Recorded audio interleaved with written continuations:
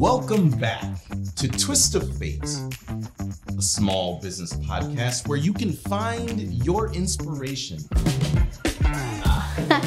okay. Uh, definitely never did a podcast before. Uh, the energy of the people, especially, you can, it's, you know, it's palpable. And the managing director.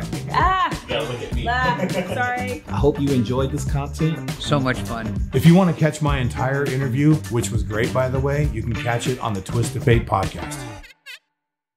So my name's Steve Ashbaker, and I'm the owner, founder of a company called Outfront Endurance. We just put on running events, um, mainly in Alameda, um, but that's pretty much it. Just putting on running events, raising money for charity, getting people active, and you know, running and being better. I met Doug at one of our running events, so we uh, put on four events a year. I'm sure we'll get into that during the podcast section. Um, but uh, one of our charities we raise money for is the Alameda Hospital Foundation and the Alameda Hospital. Um, Doug's wife is on the board for Alameda Health Systems, and Alameda Hospital is part of that, like one of the um, children hospitals, right, around the East Bay.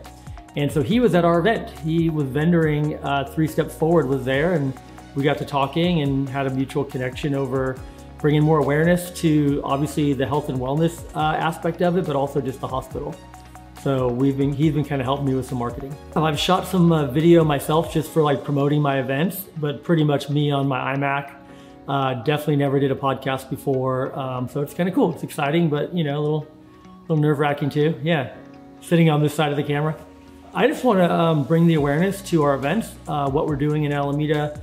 Uh, again, not just from people being active and healthy and the benefits of running and, and getting outdoors, um, but the, the awareness we're bringing to our charities and, and the events we have coming up in 2024. So uh, I think that's probably the main thing is just uh, sharing what we have going on over in Alameda.